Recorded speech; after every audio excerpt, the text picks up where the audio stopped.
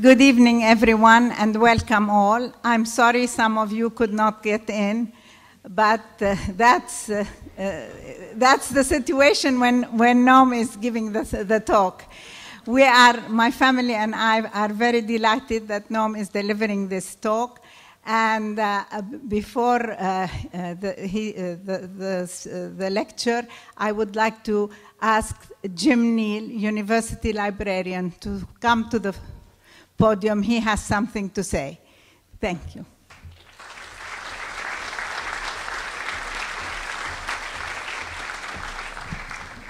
Thank you, Miriam. I am pleased to announce that Columbia has acquired the papers and the library of Edward Said.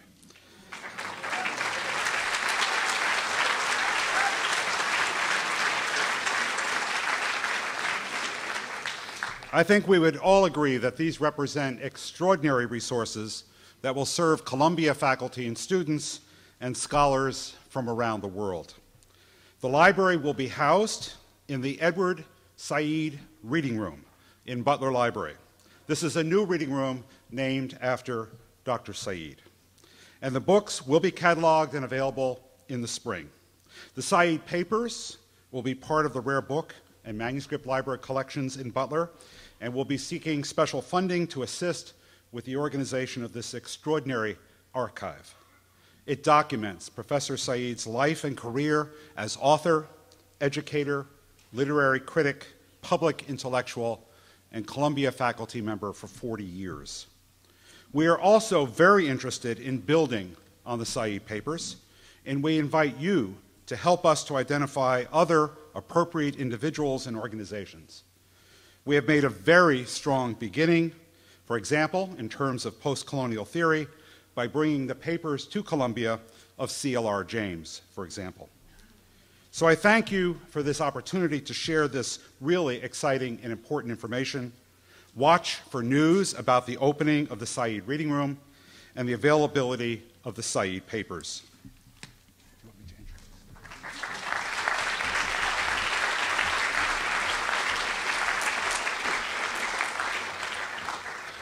I now welcome to the podium Professor Eric Foner, certainly one of our nation's foremost historians, who will introduce our speaker.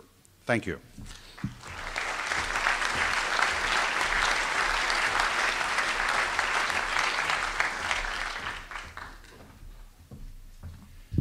Uh, thank you, Jim. Um, it is uh, indeed an honor to introduce Noam Chomsky tonight. This, the size of the audience, and in fact the numbers who couldn't get in, suggests that he uh, really doesn't need much of an introduction, so I will be brief.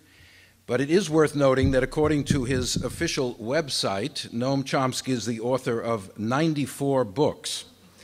The first, Syntactic Structures, published in 1957, and the most recent, Hopes and Prospects, just this last month. His writings have been radical in two senses. His meticulous, groundbreaking scholarship has transformed the study of linguistics, and ever since the Vietnam War, he has been one of the most penetrating commentators on world affairs and American foreign policy. His books have been translated into numerous languages, and I think it is fair to say that no living American intellectual is, widely, is, is read so widely around the world today than Noam Chomsky. According to a perhaps less reliable source, Wikipedia, um, Professor Chomsky was born in 1928 in Philadelphia, the son of a member of the Industrial Workers of the World. This is an honorable heritage, and again, according, according to Wikipedia, our speaker is today himself a member of the IWW. Chomsky received his BA, MA, and PhD at the University of Pennsylvania, and in 1955 joined the faculty at MIT where he holds the title Institute Professor and Professor Emeritus of Linguistics. His topic tonight is the unipolar moment and the culture of imperialism, a provocative title in that many analysts of late have claimed that we no longer live in a unipolar world. Some of you may have attended a lecture Professor, Professor Chomsky gave here at Columbia shortly after the beginning of the Iraq War otherwise known as Operation Iraqi Freedom, in which he offered a powerful critique of the Bush administration's foreign policy at that unipolar moment. In 2008, a president was elected on a promise of change in domestic and international affairs.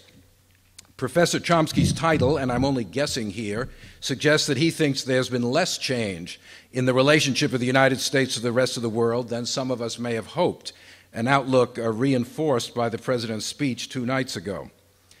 One of Chomsky's many books is entitled Manufacturing Consent, a study of how the media shapes a worldview consistent with the demands of American empire.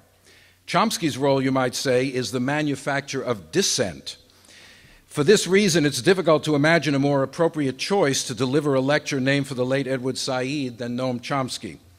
The careers of both men combine the most meticulous scholarship and political passion and personal courage. Both have stood as the conscience of an intellectual world that far too often succumbs to the temptations of power, of the powerful.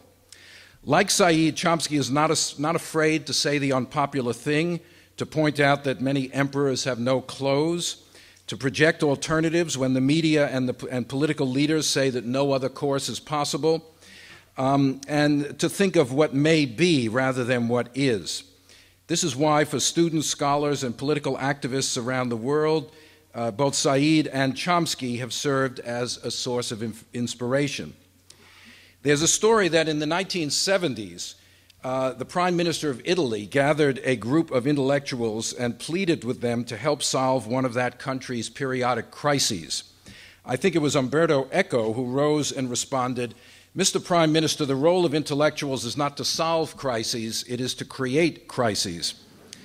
Let us hope that Noam Chomsky continues to create crises for those in power for many years to come. So, ladies and gentlemen, let us welcome the Edward Said lecturer, Noam Chomsky.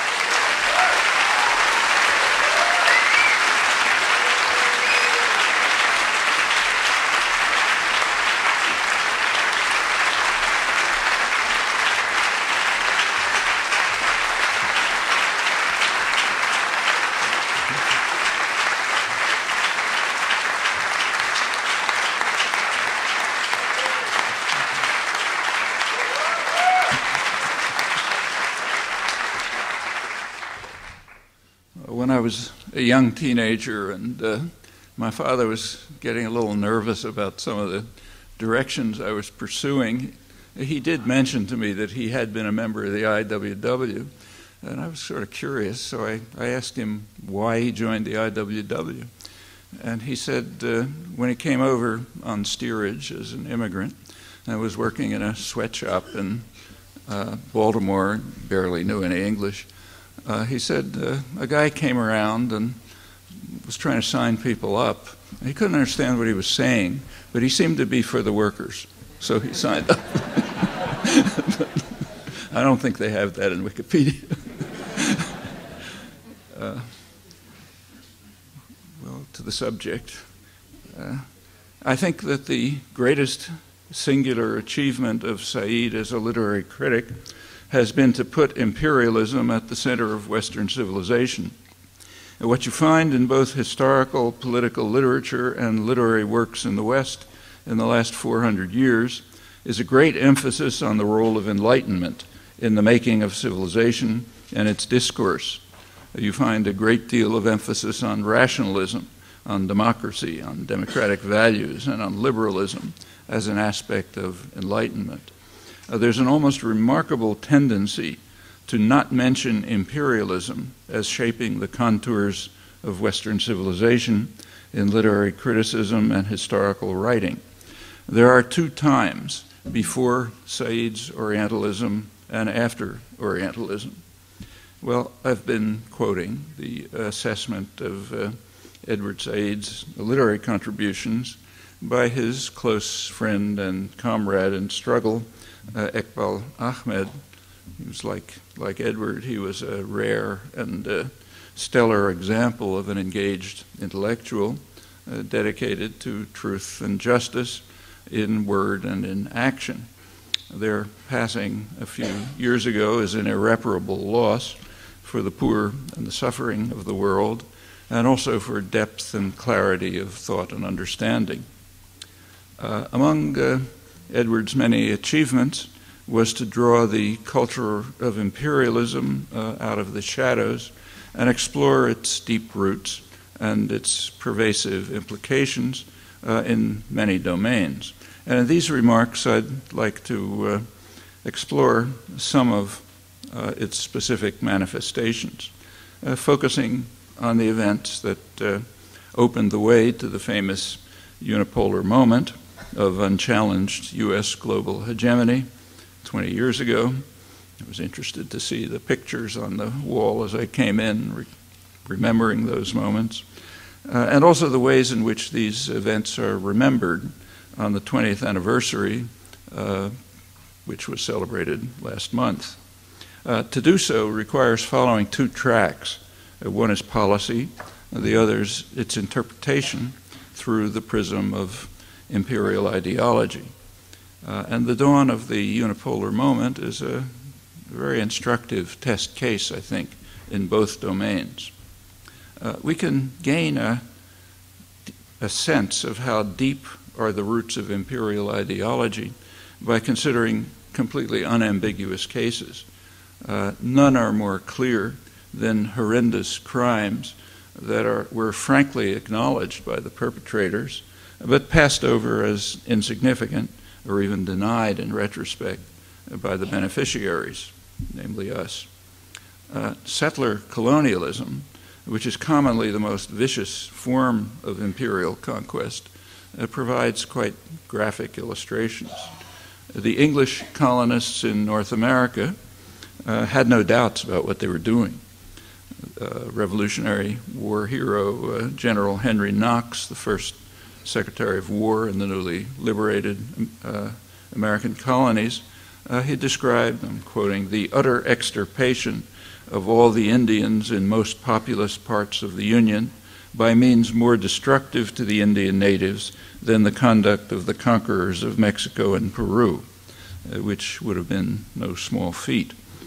Uh, in his later years, uh, after his own contributions to these crimes were long past, uh, John Quincy Adams lamented the fate of uh, what he called that hapless race of Native Americans, which we are exterminating with such mer- mer- uh, merciless and perfidious cruelty among the heinous sins of this nation, for which I believe God will one day bring it to judgment. Uh, there were some who offered a more comforting refrain, among them Supreme Court Justice Joseph Story, who wondered at the mysterious ways of providence, which in its wisdom caused the natives to disappear like the withered leaves of autumn, even though the colonists had constantly respected them. Uh, distinguished contemporary commentators reinterpret the wisdom of providence in secular terms. Uh, one example is the prominent Yale historian John Lewis Gaddis, the sort of dean of Cold War historians. Uh, he uh, hails Adams, John Quincy Adams, as the grand strategist who laid the foundations for the Bush Doctrine. Uh, the doctrine that, as Gaddis puts it, expansion is the path to security. It was a very convenient doctrine for those who can get away with it or have powerful patrons.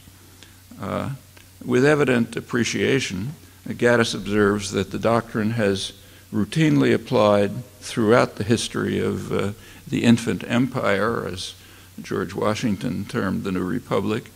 He passes in silence over Adams's gory contributions to the heinous sins of this nation as he established the doctrine in a famous state paper justifying the conquest of Florida on utterly fraudulent pretexts of self defense.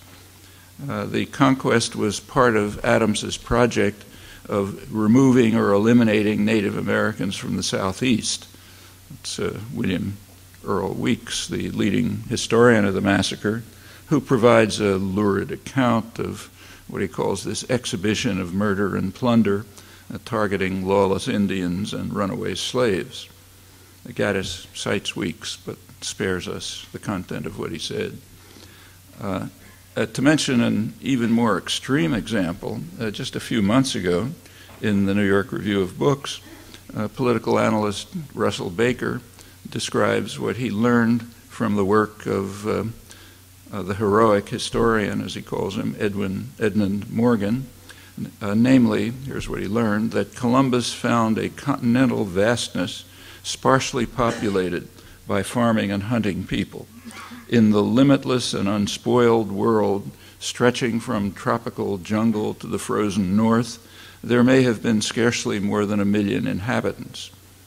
I looked carefully. No letters appeared in reaction, though uh, a few months later the editors did publish what they called a clarification, which stated that in North America, recent research suggests that the numbers may have been as high as 18 million. Well, the clarification is perhaps even more telling than the original. Uh, Baker, first of all, was not referring to North America, uh, rather from tropical jungle to the frozen north. Uh, the research is not recent, it's decades old. And it was also known a long time ago that the sparsely populated, unspoiled world included advanced civilizations, in, also in what's now the United States. Uh, nevertheless, the exercise of genocide denial with a vengeance uh, merits little concern or comment uh, presumably because it's so unremarkable and in a good cause. Now, not all cases of genocide denial get such an easy pass, and the criterion is not very difficult to discern. Uh, the European Union recently approved what they called a framework decision on com- combating racism and xenophobia, uh, which bans publicly condoning, denying, or grossly trivializing crimes of genocide, crimes against humanity, and war crimes.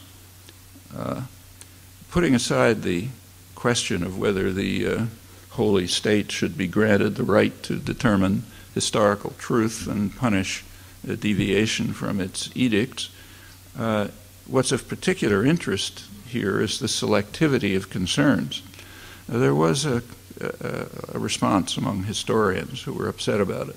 They feared that the framework decision might bar not only questions about the Holocaust, which is already banned in many countries, but also inquiry into crimes of the Ottoman Empire and Stalinist Russia. Uh, well, perhaps other cases come to mind, uh, perhaps with Western powers as perpetrators and beneficiaries but that question didn't arise. Uh, to this day, uh, the United States is reverentially admired, at home at least, as a city on a hill, or as Ronald Reagan, Reagan preferred, a, a shining city on a hill. Uh, last April, uh, British historian Godfrey Hodgson was admonished by New York Times columnist Roger Cohen for describing the United States as just one great but imperfect country among others. Uh, Hodgson's error, Cohen explained in the New York Times, is his failure to realize that unlike all other states, past and present, America was born as an idea, as a city on a hill, an inspirational notion that resides deep in the American psyche. So its crimes are only unfortunate lapses that do not tarnish the essential nobility of America's transcendent purpose. I'm borrowing the phrase of the eminent scholar Hans Morgenthau, uh, one of the founders of the hard headed uh, realist school of international relations, expounding on what he called the purpose of America. The uh, inspirational phrase, city on a hill, was coined by John Winthrop in 1630, uh, outlining, outlining the glorious future of a new nation ordained by God. Uh, one year earlier, his Massachusetts Bay Colony uh, had received its charter from the King of England, and it established its uh, Great Seal. Uh, the seal is worth looking at. I think it ought to be on the wall of every classroom in the country. It depicts an Indian uh, with a scroll coming from his mouth, pleading, Come over and help us. Uh, the charter states that rescuing the population from their bitter pagan fate is the principal end of this plantation. So the English colonists were guided by what Obama's UN ambassador, uh, Susan Rice, calls the emerging international norm that recognizes the responsibility to protect innocent civilians. Uh, the colonists were thus on a humane mission uh, as they extirpated and exterminated the natives for their own good, as their successors explained. So President Theodore Roosevelt uh, orated that the expansion of the peoples of white or European blood during the last four centuries has been fraught with lasting benefit to most of the peoples already dwelling in the lands over which the expansion took place, uh, despite what Africans or Native Americans or Filipinos or other beneficiaries might mistakenly believe. Uh, this venerable conception, which is still very much alive and in fact operative, it's been guided in part by the providentialism that has so deeply influenced American culture from the early settlers up to George W. Bush. In his case, there's some pretty remarkable examples. Uh, this is the conception that we're carrying out uh, God's will in his mysterious ways.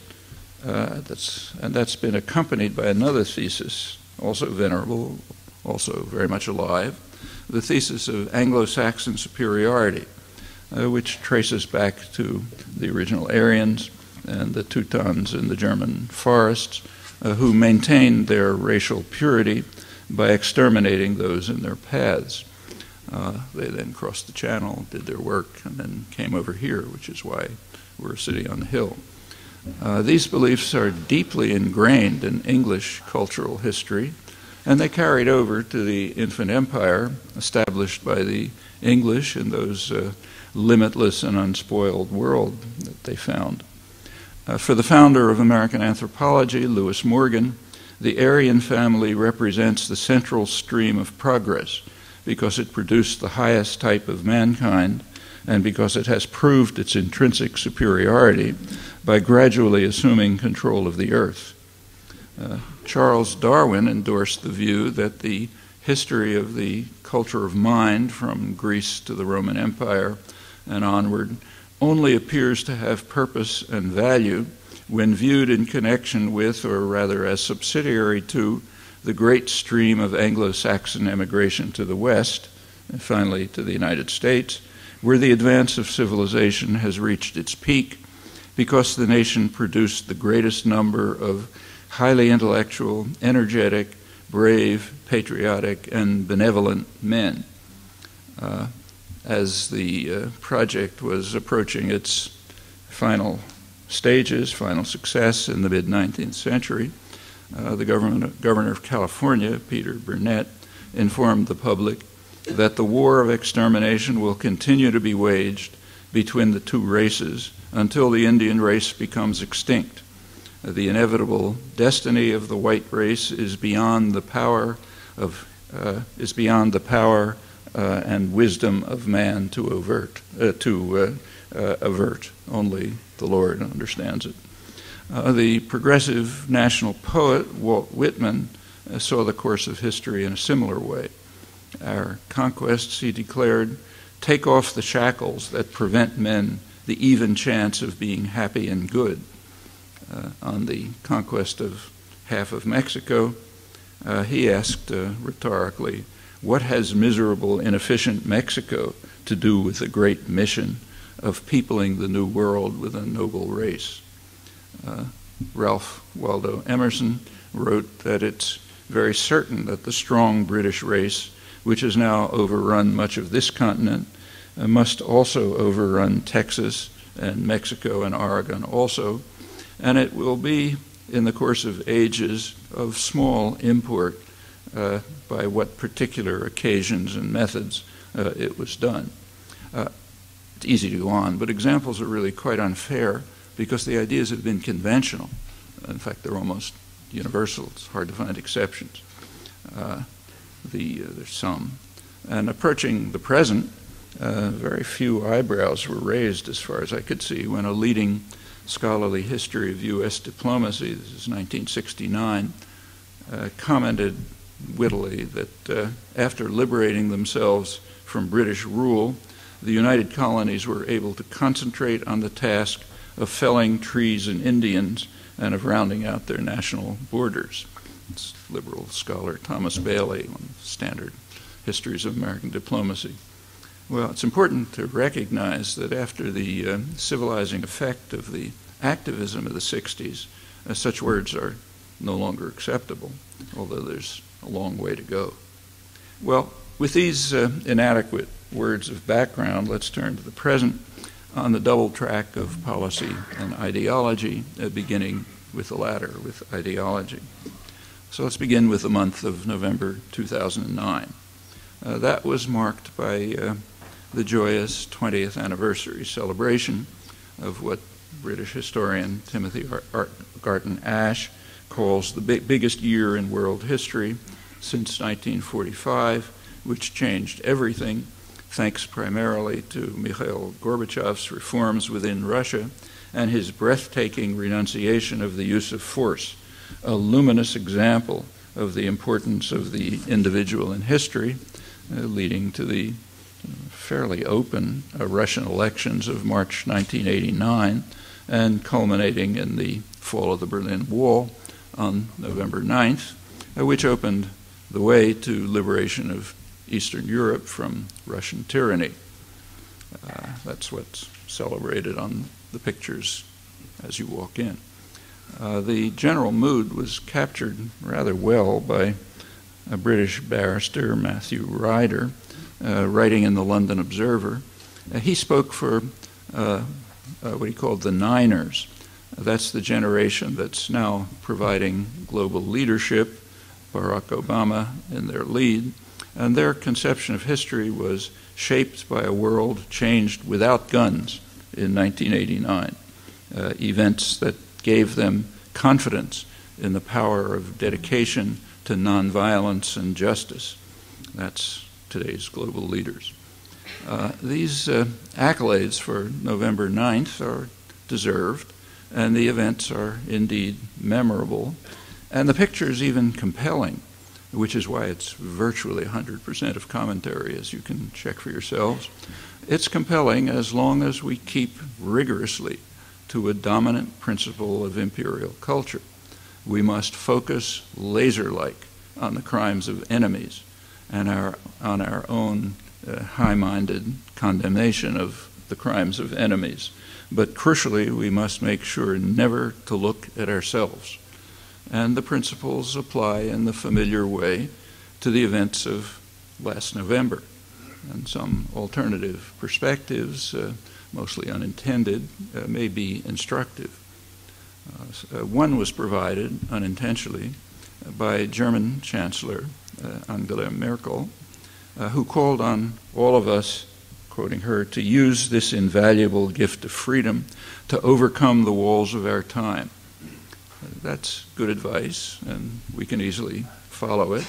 Uh, one way to follow it would be to uh, dismantle the massive wall, which dwarfs the Berlin Wall in scale and in length, uh, which is snaking its way through Palestinian territory. In,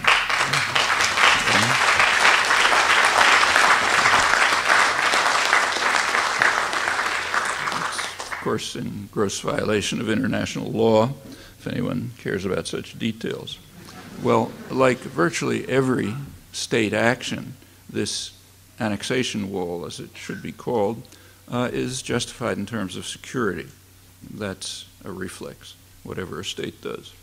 Uh, but as is commonly the case, the claim lacks any credibility at all. Uh, if security were the concern, the wall would be built along the border and it could be made completely impregnable. Uh, the purpose of this illegal monstrosity, uh, which uh, is constructed with decisive U.S. Uh, support and European complicity, is to allow Israel to take over valuable Palestinian land and the main water resources of the region uh, That's one part of a much broader annexation project which we fund and support. Otherwise, it couldn't continue. Uh, the highest Israeli authorities uh, recognized from the outset that these programs were in direct violation of international law. There was never any ambiguity. It's leading legal authorities in Israel.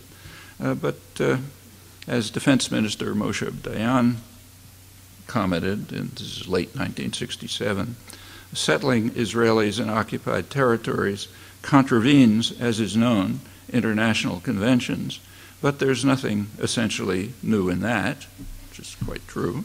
Uh, so the issue can be dismissed. At least it can be dismissed as long as the global hegemon uh, provides diplomatic cover and the needed material and ideological support, and is therefore a co partner in crime. Uh, another perspective on the 2009 celebrations is provided by the leading scholar advocate of uh, what's called democracy promotions, Thomas Carothers, good scholar who writes from an insider's perspective. Uh, he served in these programs uh, during the Reagan administration and regards himself as a kind of neo Reaganite. Uh, after reviewing the record, uh, Carothers ruefully concludes that all U.S. leaders have been schizophrenic. They need some kind of psychiatric help.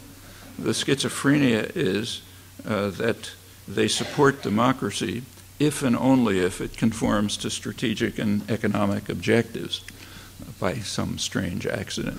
Hence, they support it in Soviet satellites, but not in U.S. client states. Uh, these judgments were dramatically verified through the 1980s period leading up to the fall of the wall. Uh, the fall of the wall has been rightly celebrated in recent weeks, but there's been little notice of what happened one week later on November 16, 1989. It's in El Salvador. That was the brutal assassination of six prominent Latin American intellectuals, Jesuit priests, along with their housekeeper, Julia Elba, and her daughter, Celina, uh, by the elite uh, Atlacatl battalion, armed and trained by Washington. Uh, the battalion had just returned from a several month refresher course at the JFK Special Warfare School at Fort Bragg.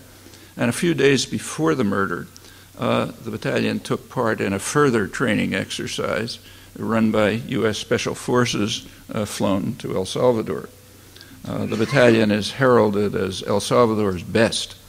Uh, the battalion had already left a bloody trail of the usual victims uh, during the horrendous decade of the 1980s, uh, which opened in El Salvador with the assassination of Archbishop Oscar Romero, the voice for the voiceless, as he was called, by much the same hands. And the story was similar throughout Central America, leaving hundreds of thousands of corpses and general misery during a reign of torture, murder, and destruction, uh, guided by the Reagan administration under the guise of the war on terror that they declared in 1981 as they came into office. Well, it was surmised at the time that the murder of the Jesuit intellectuals was planned by the high command of the Salvadoran army. And that was confirmed two weeks ago uh, by the publication in the Spanish press of uh, the document, the actual document ordering the murders uh, and uh, the murder of any witnesses. Uh, this was signed by the Chief of Staff and his associates. It's all in hand uh, all of them so closely connected to the Pentagon and the embassy, U.S. Embassy, that it's very hard to imagine that Washington was unaware. Uh, these dramatic discoveries have yet to be reported here, and I am not anticipating that they will. Mainstream Spanish press, wire services, takes some competence to miss them. Uh, one can easily understand why the consciousness of the Niners was shaped, to non shaped by dedication to nonviolence and the power of idealism.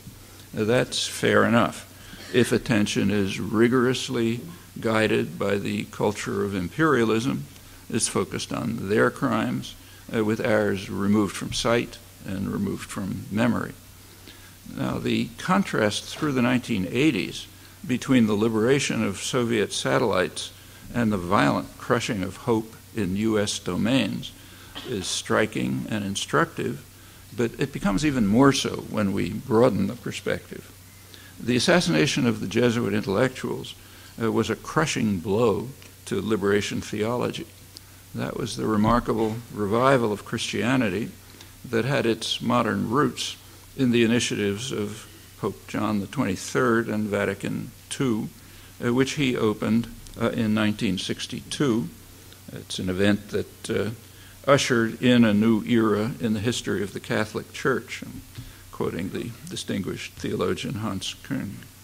Uh, inspired by Vatican II, uh, Latin American bishops adopted what they called the preferential option for the poor, uh, renewing the radical pacifism of the Gospels that had been put to rest when the Emperor Constantine in the fourth century uh, uh, established Christianity uh, as the religion of the Roman Empire. As Küng describes it, that instituted a revolution which converted the persecuted church to a persecuting church, as it has remained. Uh, in the post Vatican II attempt to revive the Christianity of the pre Roman period, uh, priests, uh, nuns, uh, laypersons took the message of the Gospels uh, to the poor and the persecuted, uh, brought them together in base communities, encouraged them to take their fate into their own hands, and to work together to try to overcome the misery of survival uh, in the vicious realms of U.S. power. Well, the reaction to this grave heresy was not long in coming. In 1964, a military coup uh, took place in Brazil. The basis was laid for it by the Kennedy administration, actually occurred a couple of weeks after his assassination. Uh, it established a national security state in Brazil, kind of a neo Nazi national security state. It overthrew a mildly social democratic government, instituted a, a, a reign of torture and violence. Uh, it was the most decisive victory for freedom in the mid 20th century, according to Kennedy Johnson ambassador Lincoln Gordon, uh, who added that uh, the democratic forces now in charge should create a greatly improved climate for private investment. Uh, Gordon's words were echoed just a few days ago uh, when Obama's ambassador to Honduras called the elections under the military regime a great celebration of democracy, while the State Department informed the press that the issue is not uh, who is going to be the next president. Uh, the, uh, uh the Honduran people decided that, uh, having exercised their choice between two supporters of the military coup that ousted the elected president. as often in the past, the U.S. separated itself from almost all of Latin America, and in this case, even from Europe, uh, in this brazen act of contempt for democracy and human rights. In the wake of the Brazilian coup of 1964, a monstrous plague of repression spread through the hemisphere. It included the what's in Latin America is called the first 9/11, namely in Chile in 1973, which by any objective measure was far more severe than what we call 9 11. It included the uh, killers and the torturers of, uh, in Argentina, who were Reagan's favorites. It finally reached Central America uh, through the 1980s. Uh, in the course of the uh, terror and slaughter, the practitioners of liberation theology were a prime target, among them the martyrs of the church, uh, whose execution 20 years ago is now commemorated with a resounding silence, barely broken. Uh, forgotten almost completely are Julia Elba and Celina. Uh, the one survivor of the massacre, Father Jon Sobrino, uh, reminds us that uh, they are the symbols of the suffering masses of El Salvador and indeed of the world. Uh, there's been much debate about who deserves the credit for the fall of the Berlin Wall. It was also the topic of a recent meeting uh, in Berlin of the three presidents most directly involved. Uh, Germany's Helmut Kohl concluded the meeting by saying, I know now how heaven helped us. Uh, George H.W. Bush uh, generously praised the East German people who for too long had been deprived of their God given rights. Uh, Gorbachev suggested that the U.S. needs its own perestroika. Uh, there are no such doubts about the uh, demolition of the attempt to revive the Church of the Gospels. The School of the Americas, now renamed, uh, which is famous for its training of Latin American killers, uh, proudly announces as one of its talking points that liberation theology was defeated with the assistance of the U.S. Army, uh, given a helping hand, to be sure, by the Vatican, uh, using the gentler means of uh, expulsion and suppression. Uh, the bitter campaign to reverse the, set, the heresy that was uh, set in motion by Vatican II, that has received incomparable literary expression in Dostoevsky's Parable of the Grand Inquisitor. In this tale, as I'm sure you know, set in Seville at the, I'll quote it, in the most terrible time of the Inquisition, uh, Jesus Christ suddenly appeared on the streets, uh, softly, unobserved, and yet, strange to say, everyone recognized him and was irresistibly drawn to him. Uh, the Grand Inquisitor, recognizing the grave danger, uh, bids the guards take him and lead him away to prison, where the old man accuses Christ of coming to hinder us in our great work of destroying the subversive ideas of freedom and community. Uh, we have taken the sword of Caesar and follow him, not thee, the inquisitor admonished Jesus. Uh, we seek to be the rulers of the earth uh, so that we can teach the weak and vile multitude that they will only become free when they renounce their freedom to us and submit to us. Then they will be timid and frightened and happy. So tomorrow I must burn thee and put an end to thy evil ways. Uh, but finally the old man relented and let him out into the dark alleys of the town. The prisoner went away. Uh, notice that the pupils of Port, Fort Bragg learned a rather harsher lesson. Uh, in 1977, the highly respected Jesuit priest uh, Rutilio Grande uh, preached in El Salvador of his fears that very soon the Bible and the Gospels will not be allowed within our country. We'll get the covers and nothing more because all of its pa- pages are subversive. And I fear, my brothers, that if Jesus of Nazareth returned, they would arrest him they would take him to the courts and accuse him of being unconsti- uh, unconstitutional and subversive. Uh, his insight into policy was all too accurate. A few weeks later, he was assassinated, again by the same hands, first of the series of assassinations in Central America of Jesuit priests. Well, these two events, the collapse of Russian tyranny and the destruction of the evil ways of the Gospels uh, were linked symbolically when the hero of 1989, Václav Havel, uh, came to Washington shortly after the assassination of his Salvadoran counterparts. Uh, he spoke before a joint session of Congress, and he received thunderous applause when he praised the United States as the defenders of freedom. Uh, the intellectual classes were entranced. At the extreme dissident end, uh, Anthony Lewis uh, hailed Havel for teaching us that we live in a romantic age. Uh, the Washington Post described Havel's message as a voice of conscience that speaks compellingly of the responsibilities that large and small powers owe each other. And under, others wondered why American intellectuals do not ascend to these lofty heights. Well, one can imagine the reaction if the circumstances had been reversed. it's a thought experiment that uh, it's useful to carry out. Could teach us a lot about ourselves. Well, let's turn to the second track, policy. Uh, how did policymakers react to the fall of the wall, uh, initiating the unipolar moment? A few, a few weeks later, uh, the United States invaded Panama. Uh, the purpose was to kidnap a minor thug who was brought to Florida and uh, sentenced for crimes that he committed, for the most part, while on the CIA payroll.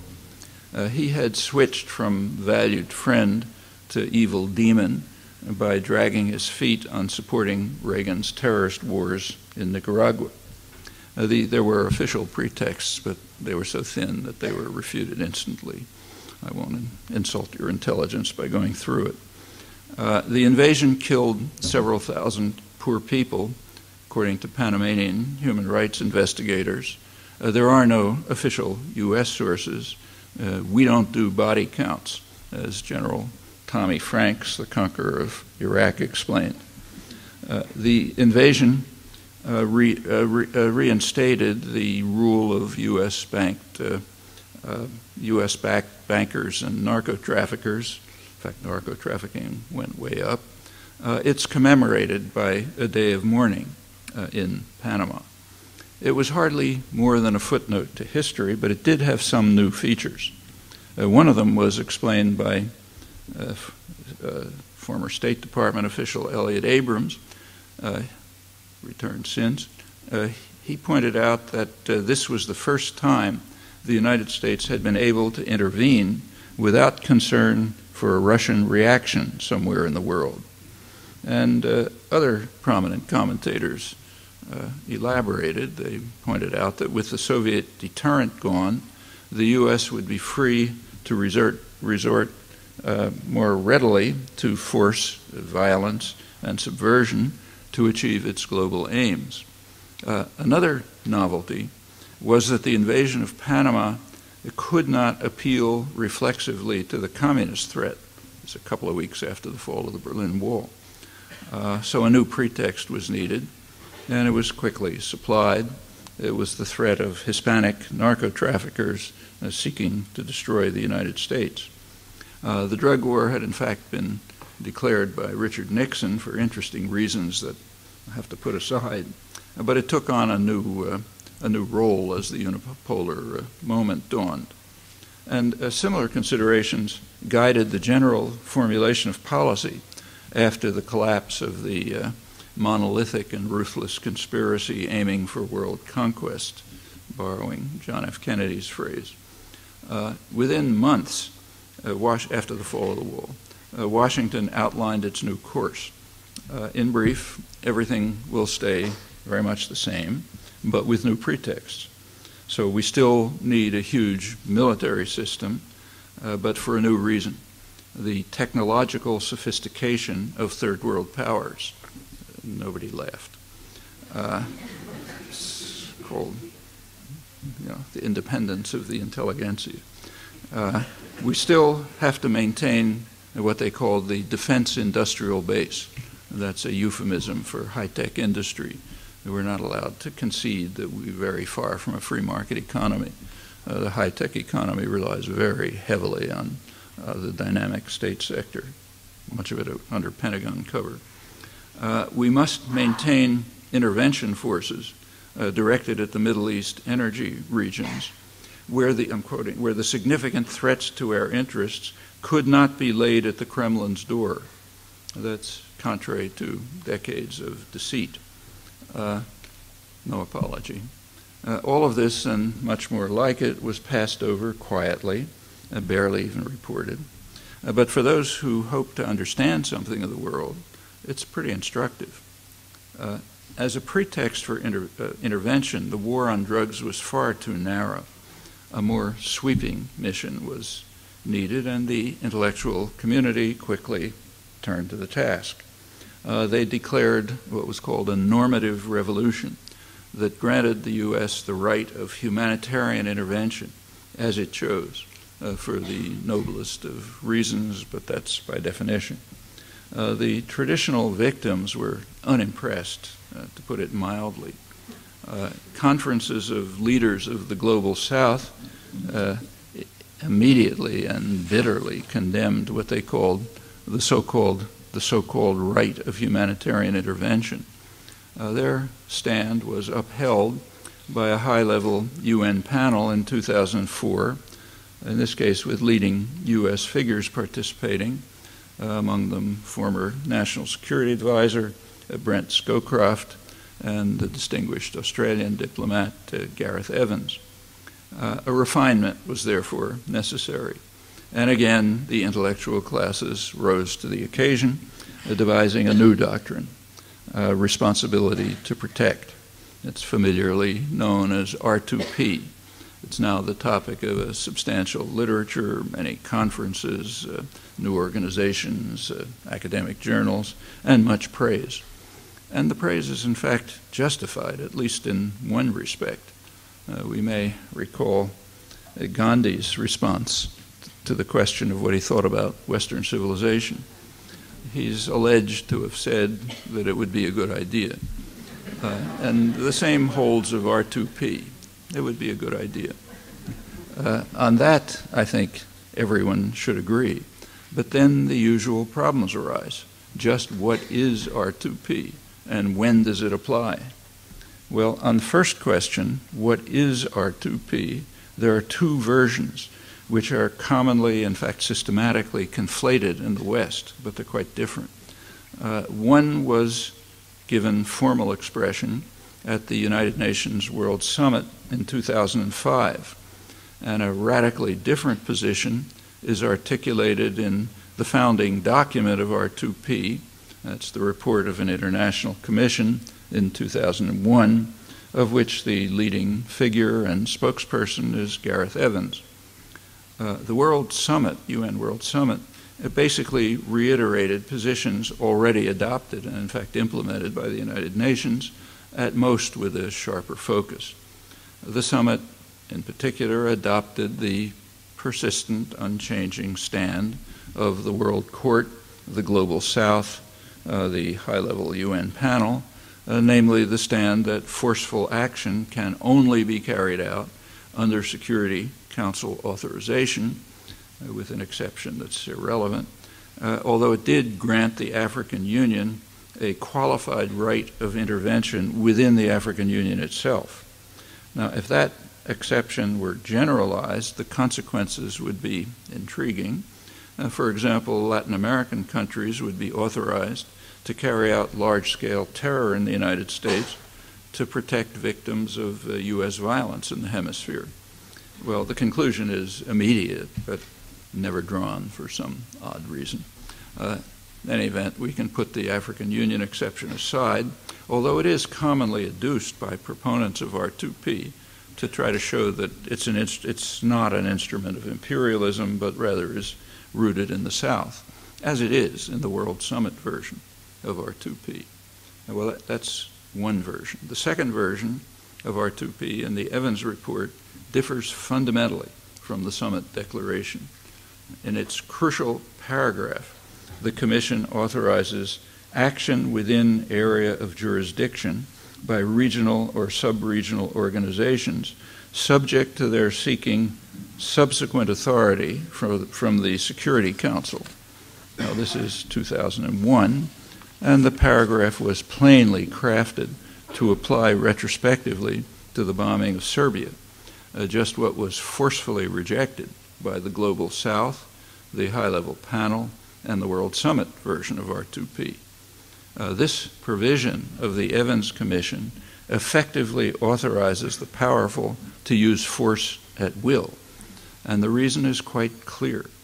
Uh, the powerful unilaterally determine their own area of jurisdiction. Uh, the Organization of American States and the African Union, they can't do that. But NATO can and does. Uh, NATO determined that its area of jurisdiction includes the Balkans, but interestingly, not NATO itself, uh, where shocking crimes were committed against Kurds in southeastern Turkey uh, right through the 1990s. It's all off the agenda because of the decisive military support for them by the leader of the free world, Bill Clinton. Uh, NATO later determined that its uh, uh, jurisdiction uh, uh, extends to Afghanistan, as you know, uh, and also beyond. officially, it now extends to protection of pipelines, sea routes, and other crucial infrastructure of energy systems on which the West relies. Now, these expansive rights granted by the Evans Commission uh, are in practice restricted to NATO alone, uh, radically violating the principles of the World Summit. And they explicitly open the door for resort to R2P as a weapon of imperial intervention at will. Well, let's turn to the second question. How is R2P applied in practice? Uh, the answer will surprise no one who has the slightest familiarity with history or elementary understanding of the structure of power. I'm not going to run through the highly selective application. It's exactly as you'd expect, uh, but just take a few examples. Uh, there's no thought of devoting pennies uh, to protect the huge numbers of people dying from hunger and lack of health care. That's at a level far beyond, far higher than Rwanda, probably twice the Rwanda level among children alone uh, and not for 100 days, but every day and increasing. Uh, uh, victims who are uh, protected populations by law, protected populations are also barred from protection, among them the victims of the U.S. Israeli attack in Gaza early this year. Uh, they are protected persons under the uh, Geneva Conventions, but they're not part of the responsibility to protect. Uh, victims who are the direct responsibility of the Security Council also are unable to appeal to R2P. The most striking case is Iraqis uh, subjected to Clinton's murderous sanctions, uh, which were condemned as genocidal by the administrators of the UN programs, the respected international diplomats Denis Halliday and Hans von Sponeck, uh, who successively resigned in protest against these violations of the Genocide Convention, so they're not protected. Uh, also, not protected are the victims of the, worst massacres of recent years in the eastern Congo, uh, and only the cynical might suspect that the neglect has something to do with the fact that the worst offender is U.S. ally Rwanda, and that multinationals are making a mint from robbing the region's rich mineral resources uh, with the crucial aid of the militias that are tearing the place to shreds.